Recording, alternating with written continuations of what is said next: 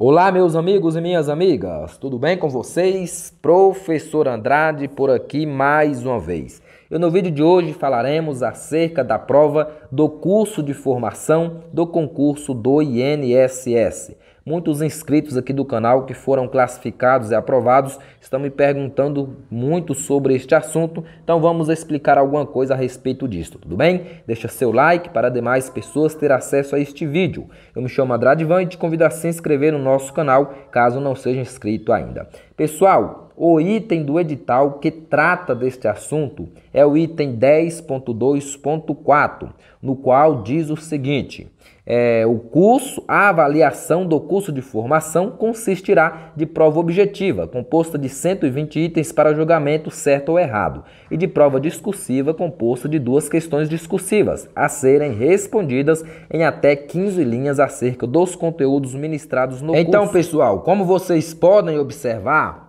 a prova do curso de formação será de acordo os conteúdos ministrados durante o curso de formação. Como vocês sabem, aí o curso será de 180 horas e presencial. Então, muita gente, eu estou vendo muito inscrito preocupado, já até falando, eu vou começar a me preparar para a prova do curso de formação, mas vocês não têm como saber ainda quais conteúdos serão ministrados durante o curso. Então não, não precisa ficar preocupado com esta parte ainda da prova em relação ao conteúdo que irá cair na prova. Primeiro vocês vão é, ter que participar do curso primeiro para só então realizar esta prova. Mas é uma provinha bem básica mesmo, de acordo com os conteúdos do curso. Serão ali 120 questões de certo e errado e duas questões apenas discursivas, né?